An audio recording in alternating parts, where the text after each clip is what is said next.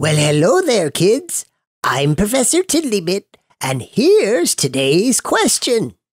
What are too small to be seen, but make up everything, including you? Atoms.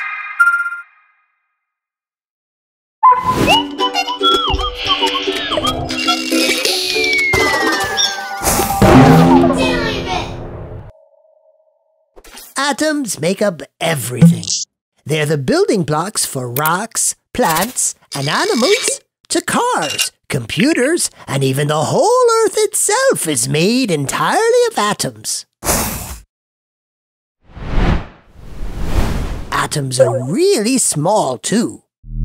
How small are they? Well, imagine yourself at a beach, like this one.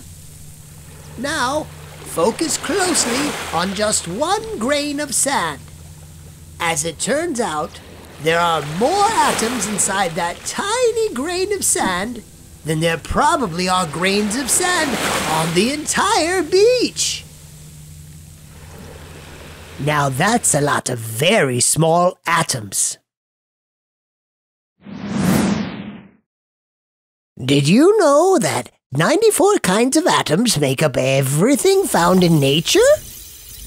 And scientists have experimentally created 24 more, which brings the total number up to 118 kinds of atoms.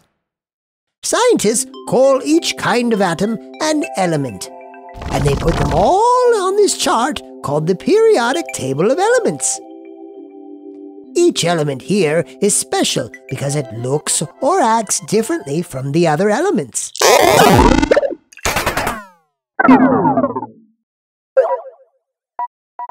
Surprisingly, almost 99% of your body is made up of just six of these elements. You are 65% oxygen, the stuff we breathe, 18% carbon, the stuff that makes charcoal and diamonds, 10% hydrogen, the stuff that makes the sun shine, 3% nitrogen, which fills most of the Earth's atmosphere, 1.5% calcium, which is good for your bones, and 1% phosphorus, a strange glowing element. Now here's the weird part.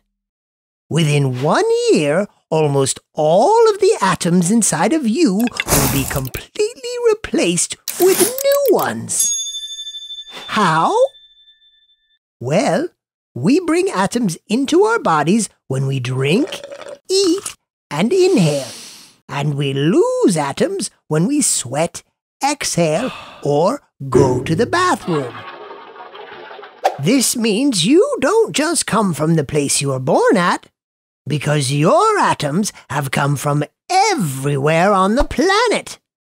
Fish from the sea, grain from farms, fruits and vegetables from other countries, and water from everywhere. You are an ever changing body of atoms, which should make you think. Because if you aren't made from the same atoms you were last year, then what makes you really you? Now that's something for you to think about until next time.